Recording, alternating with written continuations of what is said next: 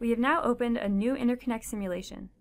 The configuration of the windows in the view is the same as what we had set up earlier in the Layout Editor Navigation Basics video. The ring resonator circuit consists of waveguide couplers and straight waveguides.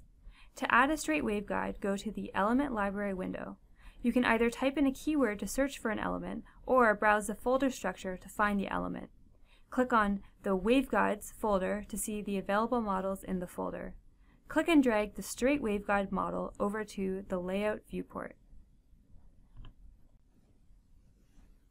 In the Property View window, you can click on properties to modify their values. Since we'll have two straight waveguide elements, under the General Properties I'll rename the element Straight Waveguide 1. Now, let's assume that the ring has a radius of 40 microns, which means that each of the waveguides will have a length equal to 40 microns times pi. By default, the units are in meters. To change the units, you can click on the unit column and select micron. Under the standard properties, let's set the length to pi times 40 microns.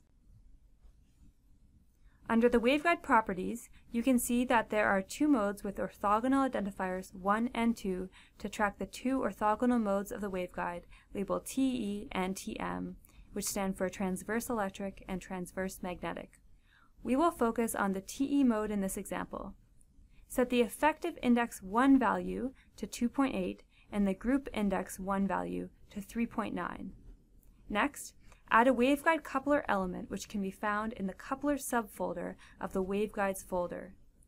Set the name to waveguide coupler 1. Under the waveguide properties, if you click on the input parameter setting, it opens a drop-down menu that allows you to choose between specifying the coupling coefficient, crossover length, or a table of coupling coefficients as a function of frequency. We will set the coupling coefficient of mode 1, which is the TE mode, to 0.2. We can drag and drop another set of waveguide and coupler elements from the element library, but a shortcut is to duplicate the existing objects.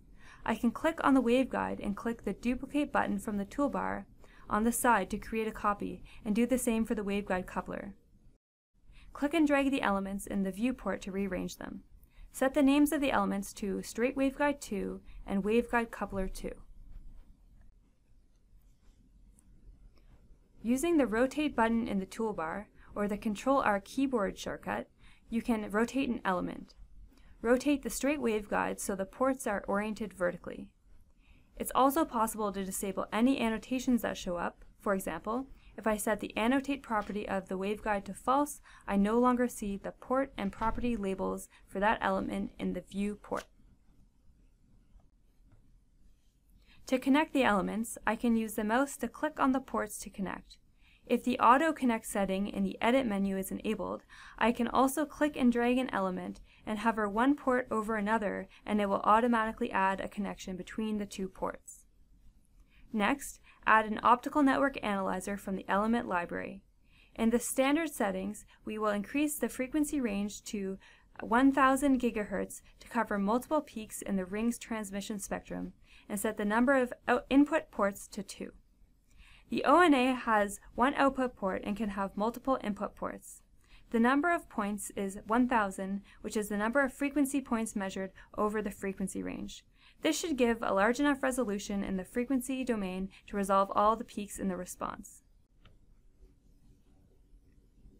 Under the waveguide settings, the orthogonal identifier is 1, which corresponds to the TE mode. This mode will be excited by the output port of the ONA when we run the simulation.